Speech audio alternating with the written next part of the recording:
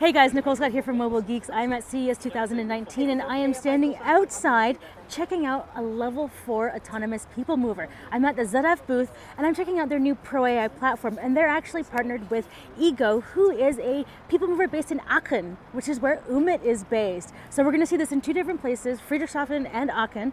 And then what we see when we get into the car is we go around to several different destinations. We have a school, an airport, a hotel, and then we kind of select it and then the car just, there it goes. It just drives around. So it's actually sensing what the lanes are. You can see that when we're driving uh, through the track that it's, you know, staying within the lines. So there are some sharp turns and you kind of feel it moving around. And the braking is definitely a little hard because this is uh, an early demo version. So when it comes out to market this year, we should see, I think, a few thousand yeah.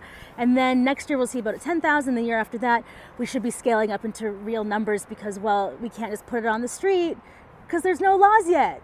So this is definitely something that's nice and early because we're not we're not really ready yet. So it's really good to see these types of things, especially at CES and uh, out near the old Vegas Strip, which I like to get away from the hustle and bustle of regular Las Vegas because you know it's a crazy show. If you want to see what else we're up to, I have a playlist right over here to check out what else I've been up to. Nicole Scott here from Mobile Geeks.